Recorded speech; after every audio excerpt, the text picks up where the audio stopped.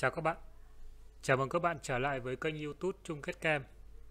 Thì hôm nay, mình sẽ giới thiệu với các bạn tiếp về cái chương trình đào tạo Sima trông nâng cao. Thì hôm nay mình sẽ giới thiệu với các bạn về cái mục quản lý Pocket trong việc gia công, trong Sima trông. Thì trước khi bắt đầu vào học các bạn hãy đăng ký, like và share để đón nhận những video mới nhất trên kênh youtube của mình. Thì video hôm nay mình sẽ giới thiệu cái cách quản lý cái Pocket trong sim ở trong E15 thì trước khi mình khởi tạo toolbar mình có thể tạo trước.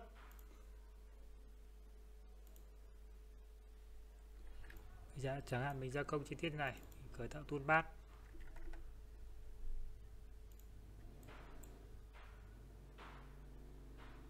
process. Mình tạm thời mình để như vậy. Thì trong cái mục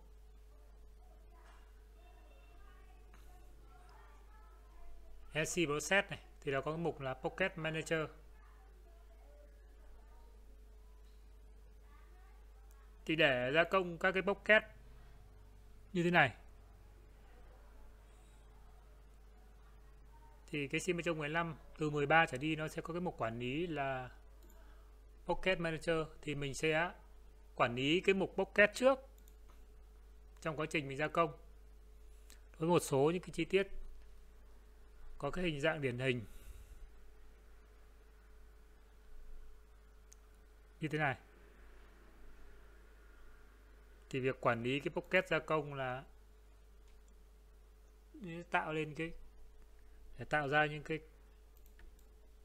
mục riêng biệt trong quá trình mình gia công được dễ dàng hơn. Thì mình tích vào đây. Để nó ra một cái cửa sổ. Thì bạn chọn. Ở trong đây nó sẽ có nhiều gia công theo các mặt khác nhau. Đây, thì mình đã tạo ra các cái góc khác nhau có thứ nhất cái gốc cơ bản là cái mặt. Này và các mặt bên hông này.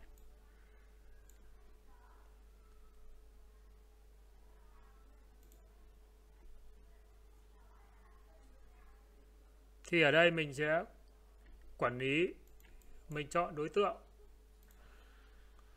Đấy, mình chọn đối tượng là tất cả. Thì trong đây mình sẽ chọn là ví dụ như là cái gốc đầu tiên.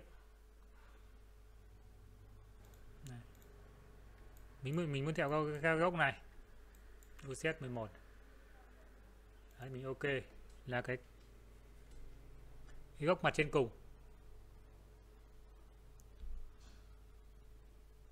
Thì sau này thì mình sẽ có cái mặt khác nhau mình sẽ lựa chọn góc gia công khác nhau. Thì trong cái quản lý bokeh này nó sẽ chia ra. Các cái bokeh ở các cái vùng khác nhau thì các cái mặt khác nhau thì nó sẽ quản lý riêng, thuận tiện cho việc gia công.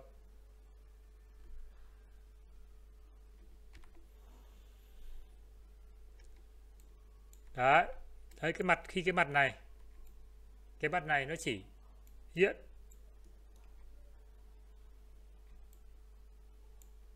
đây, nó chỉ hiện cái mặt trên này. mình chọn gốc là UCS 111 mình có thể đây mình có thể đổi tên gốc thì G54 55 bao nhiêu đấy, tùy bí mình đến 59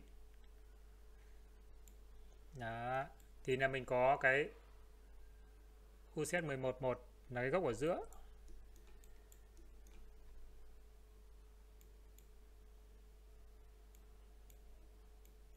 Đó, thì nó sẽ quản lý này.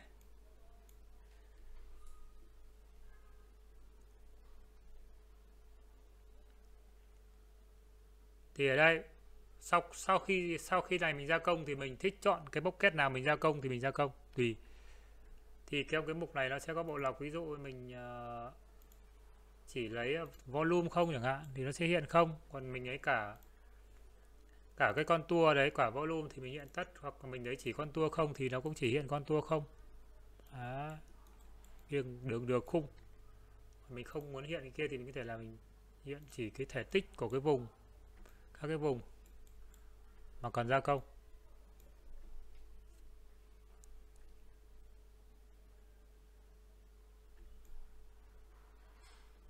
đấy, mình ok, ví dụ mình ok là cái góc một đầu tiên này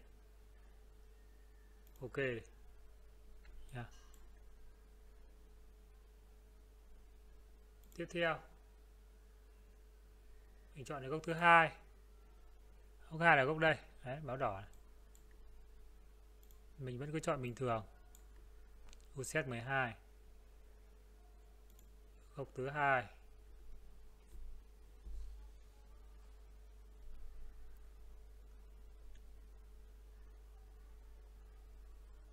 Là mình xóa đi nhá.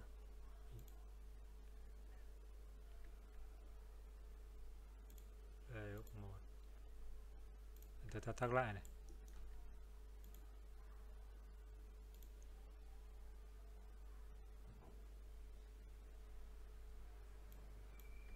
Góc đầu tiên này. Yeah. đây, bây giờ mình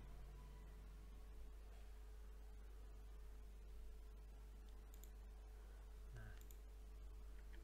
đây là cái bucket thứ nhất, phần thứ nhất. Đây, mình bây giờ mình chọn UCS thứ hai. Đây là cái mặt này Đấy. Này.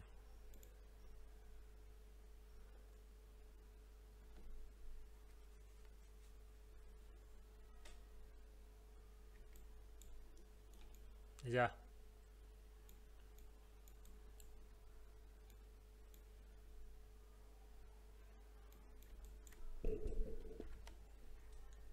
đây. Đó, những cái gốc tạo mới đây. U set này. Thì nó sẽ có cái gì? Nó sẽ có cái lẫn lẫn của cái cái cái cái phần. Phần này. Yeah. Đấy, cái phần này thì nó của cái cái cái à, gốc thứ nhất rồi mình có thể bỏ đi à. Đấy. ba cái này thì mình có thể bỏ đi này Đó, thì mình chỉ còn để lại một đây. cái này mình cũng bỏ này Đó. Đấy.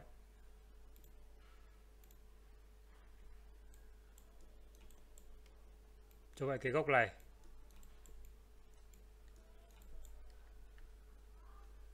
À, quản lý theo gốc.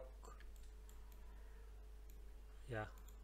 à, thì chỉ còn mỗi ba cái. Sau là mình ok.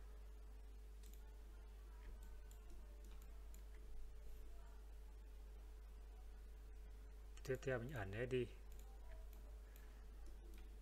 Mình quản lý góc tiếp theo. Hôm này. Yeah. mình cũng select góc mớ 3 ok đây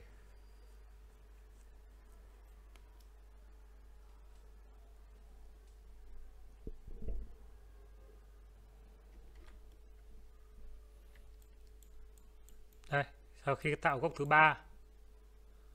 Đó, ra kết quả này mình hiện lên này. Đấy.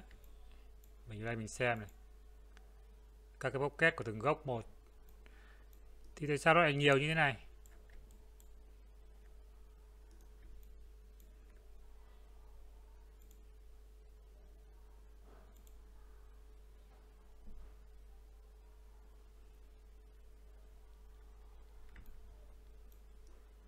Ba nhiều này thì mình chỉ có quan tâm mỗi gốc này thôi. Đấy à, mỗi cái cái cái bốc két này thôi.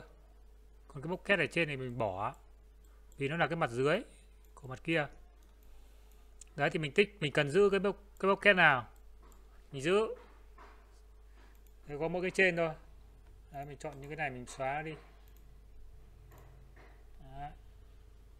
thế là mình có cái nhấp like cái thứ ba. Mình sang cái thứ tư. Đây, góc đây. Cũng tương tự. Dạ. Yeah. như ok, mình chọn đây, góc. Nó cũng ra nhiều thì mình cũng sẽ chọn cái góc này mà mình xóa hết đi.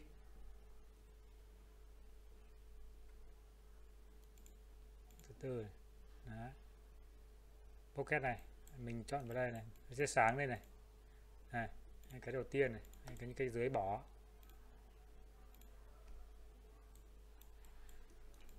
Ok chưa? Đấy, hiện nay học thứ năm.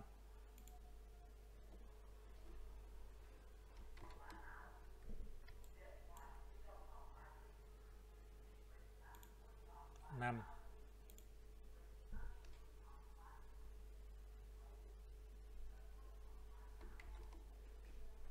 Đấy. mình lại ra tìm cái mục thứ năm này đây, cái đầu tiên này.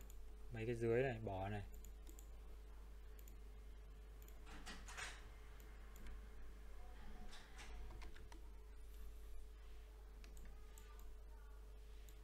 đấy, vậy thì mình đã có, ok ok là mình có 5 cái trong cái mục này là mình đã có đầy đủ hết rồi Đó.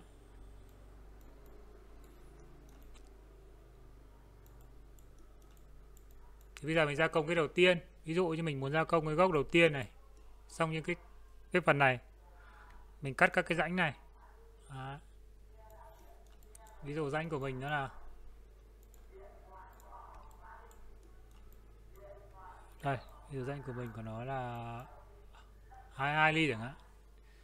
Ví dụ mình muốn cắt con dao 20 chẳng hạn.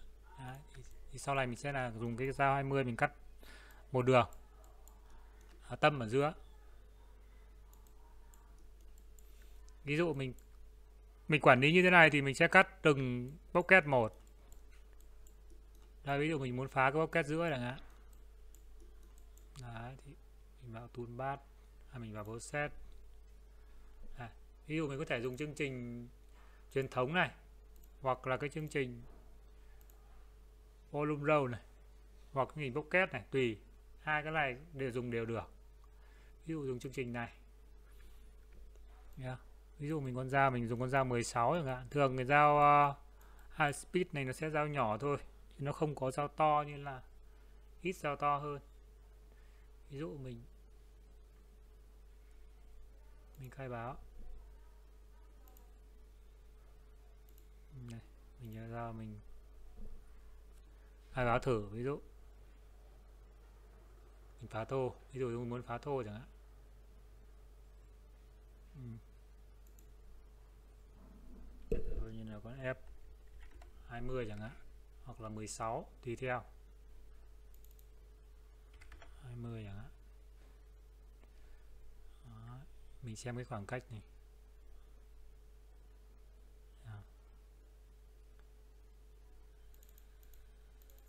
Cái này ví dụ mình cho 35 chẳng hạn.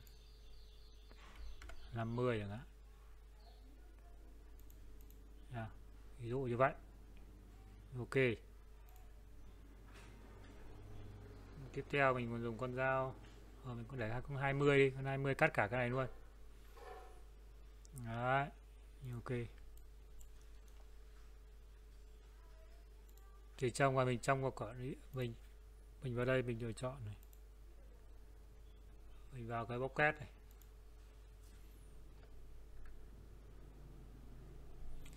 Vào góc thứ nhất. À.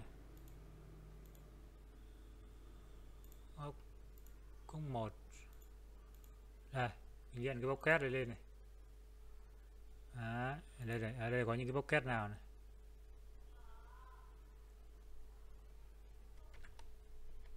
Đây mình hiện hết đây này. Đấy. thì pocket này ví dụ mình muốn ra câu pocket này mình tích vào đây. Thì đây nó sáng này. Như là nó xác nhận ra câu kết này. Như là nó chỉ ra công cái vùng. Vùng thịt này thôi. Đấy.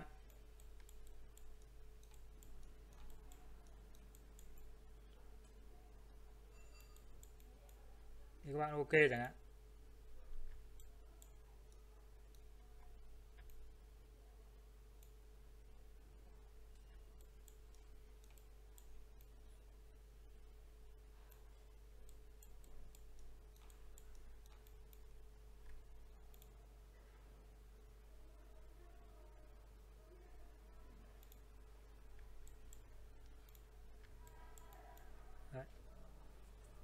Nó bị lỗi cái bóc cái này.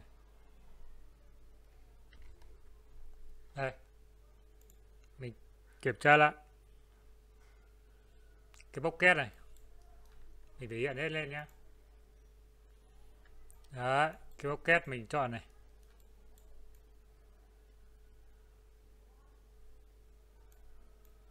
Đây.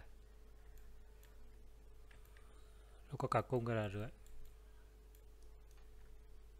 khi mình chọn xong. Đấy, nó báo là cái bóc này.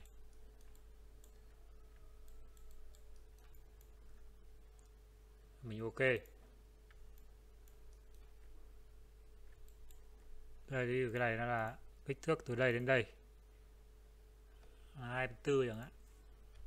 Đấy thì còn ra 20 của mình. Thì ở đây mình có thể cắt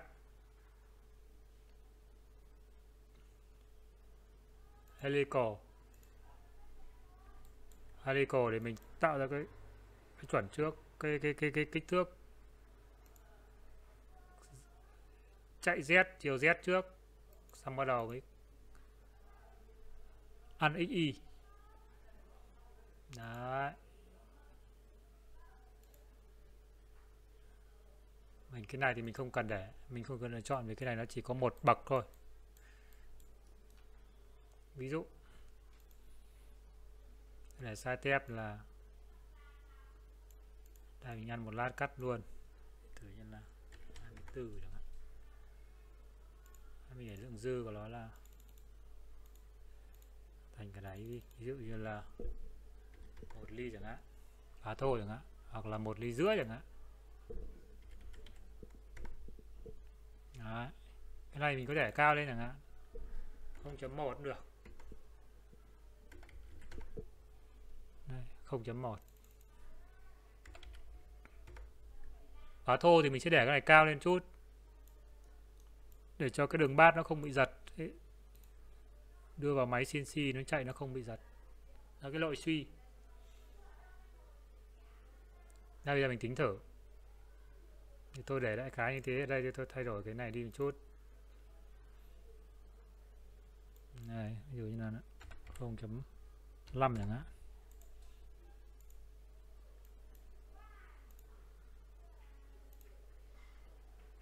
yeah ok.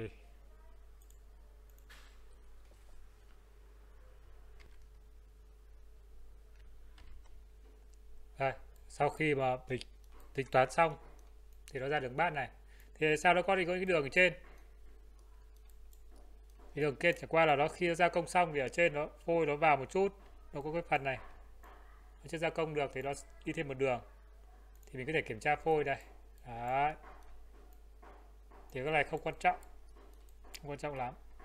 Mình có thể bỏ đường này đi cũng được, thế thôi, để gia công thì cứ để gia công bình thường.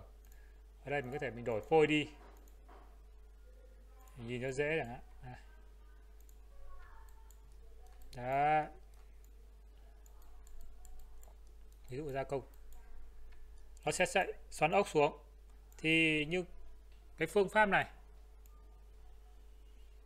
là phương pháp file 3D như thường, trong cái trong cái trường hợp này thì khuyến cáo thì là lên dùng cái chương trình này, volume pocket. Thì hay hơn là cái volume này. Đó. Nó có hai chương trình. Nghĩa là nó khuyến cáo là chạy với những sản phẩm này thì lên chạy theo cái này. Đó. trước khi mình mình tính toán thì nó cũng báo mình là lên chạy cái chương trình này 2,5 chục này. Cho những cái bề mặt mà nó phẳng một lớp như này. Đấy. thì các bạn lưu ý thì đây mình có thể mình để để để cho nó dễ nhìn thì tôi tăng cái này lên. Ví dụ tôi để một ly chẳng hạn để tôi tính toán. Mình nhìn cho nó trực quan. Đây mình tính toán lại này. Nên lựa chọn này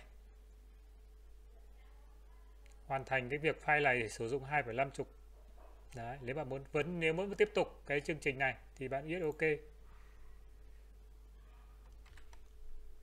Đây. Đấy tôi, tôi thử cho kích thước nó dày lên đường bát dày lên. Đấy thì nó sẽ gia công nè đấy, nó sẽ gia công. Xoắn ốc xuống để tạo cái vị trí thoát dao cho việc gia công tốc độ cao. Đấy. Thì những cái cái cái cái sản phẩm mà nhựa với nhôm này, thì chạy cái này là rất tốt. Rất nhanh. Có dao, tốt nữa. Đấy. Tiếp đến mình vẫn dùng con dao như này.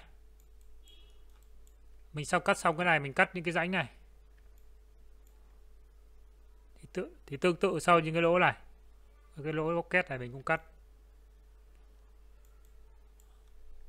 Đấy, ví dụ mình chương trình này mình xuống đây copy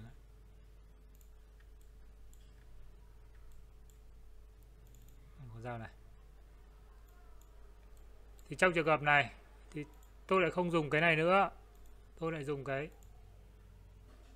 2,5 acid thì trong này nó có một cái điểm mới nữa là gì? Là cắt gì?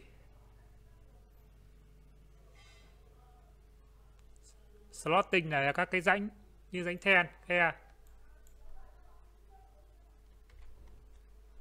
Mình quay trở lại cái môi trường này mình sửa bây giờ cái đường. Cái này mình xóa đi cái này không không gia công nữa. Đấy mình quay trở lại cái môi trường bốc két này này. Yeah, quản lý bốc két bây giờ mình lựa chọn lại.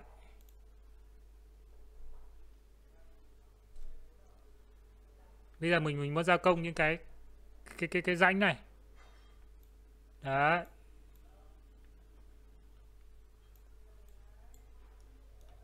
Như là cái gia công cái phương pháp nào cái nào mình dùng được thì mình dùng. Đây là công cái cái cái cái cái cái, cái rocket này. Tất cả những cái này này. Cái rãnh này này. Đấy. Mình gia công hết.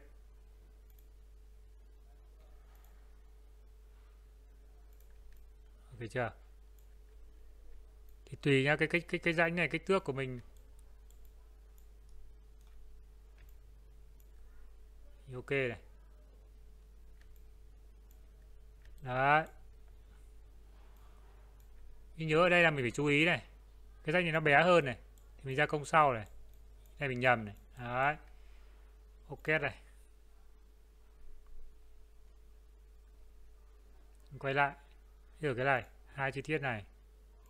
Hai chi tiết này. Là mình không có gia công nữa. Đó, ok.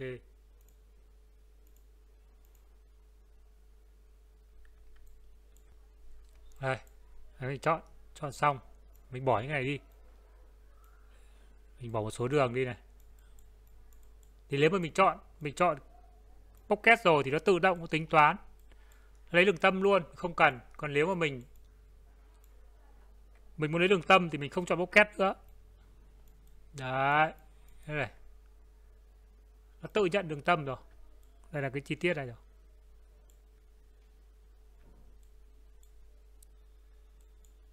Đấy, bạn chú ý nhận đường tâm rồi thì thôi.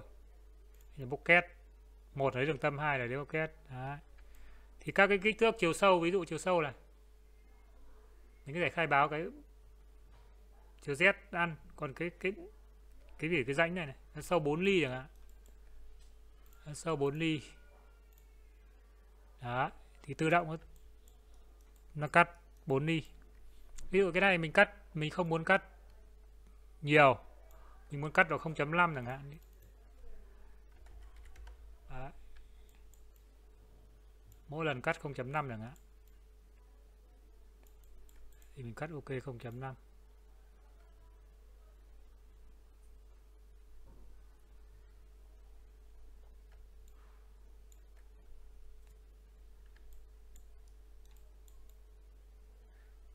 hoặc nếu trong trường hợp không quan trọng mình cắt thẳng có con dao 22 mình cắt thẳng. Ví dụ một số những cái trường hợp rãnh. Còn không mình cắt phá trước bằng con dao to xong mình liệm mình uh, cắt tinh lại.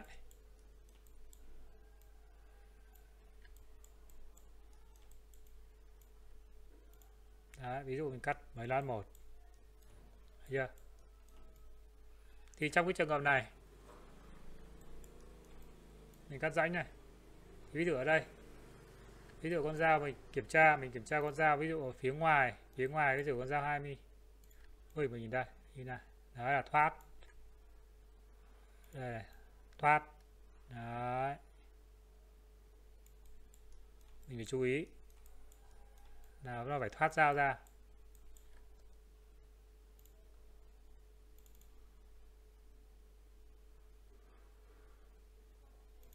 Đấy thì cái chế độ nâng cao của nó đây. Ví dụ nó đang thoát này. Nó đang thoát hai lì mình có thể là thoát ra nữa thì tùy mình. Đó. còn ví dụ trong trường hợp những cái, cái cái rãnh này thì nó tự động nó tính toán cái phần phần hở. Đó. thì mình có thể mình điều chỉnh cái này. Họ Z thấp thôi. Ví dụ là 5 ly những cái thông số khác thì các bạn tự điều chỉnh. Ở đây mình chỉ hướng dẫn các bạn cách làm. Đó thì thì cái chỗ này mình sẽ làm dao bé hơn. Đó, cái này dao bé hơn. Thì mình sẽ tạo con dao khác mình làm. 16 rồi cả Đó. thì các bạn sẽ giải quyết. Như là khi mình đã tạo pocket rồi trong cái mục này rồi thì khi ở đây cái mục pocket nào nó có rồi mình chỉ lấy ra mình chạy thôi. Mình không phải tạo vùng vùng tính, vùng tiếc gì cả. Đó.